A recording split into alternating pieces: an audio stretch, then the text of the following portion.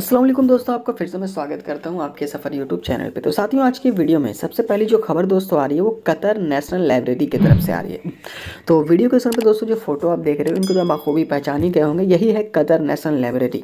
तो Qatar national library की तरफ़ से साथियों, एक वैरायटी एक्टिविटीज़ का ऑर्गेनाइज किया जा रहा है दिसंबर में। यानी दिसंबर का महीना दोस्तों स्टार्ट हो चुका है। तो आप लोग यदि किताबें वगैरह पढ़ना या फिर कोई अलग एक्टिविटी करना चाहते हो तो आप विजिटर लोग, सभी लोग आप लोग विज़िट वहाँ पर कर सकते हो। कतर का हेरिटेज कतर की दोस्तों हिस्ट्री और भी जो चीज़ें होती हैं, वो सब सारी चीज़ दोस्तों वहाँ पे आपको देखने को मिलने वाला है। तो ये साथियों दो दिसंबर से स्टार्ट हो जाएगा, यानी कल से ही दोस्तों ये स्टार्ट होने वाला है और साथियों कुछ दिन तक ये चलने वाला है। तो जो भी आप लोग भाई लोग देखना चाहते हो, जाकर देख सकते हो।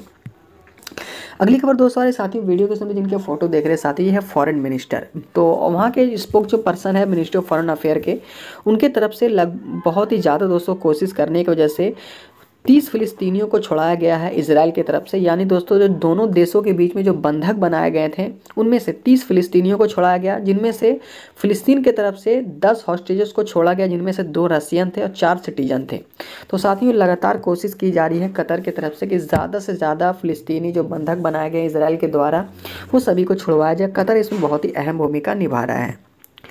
अगली खबर दोस्तों, हमारे साथियों, वो भी बहुत ही बड़ी खबर है। साथियों, कतर में इस बार एक तरह का ऐसा एग्जीबिशन लग रहा है जो कि मेड इन कतर है। यानी जो भी चीज़ें आपको एग्जीबिशन में देखने को मिलेगी, वो सभी के सभी कतर का बनाया हुआ होगा, यानी दूसरी कंट्री कुछ भी नहीं होगा।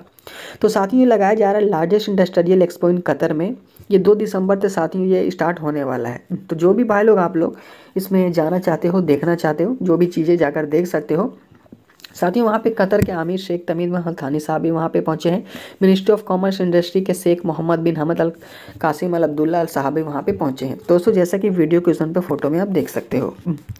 अगली खबर दोस्तों आ रही important vehicle at the industrial area to be option भाइयों, जैसे कि आप लोग जानते होंगे, कतर में बहुत सारे जगहों पर गाड़ियों को उठाया जाता है, जो वहाँ पर उल्लंघन करते हैं या इलीगल तरीके से गाड़ी खड़े करते हैं।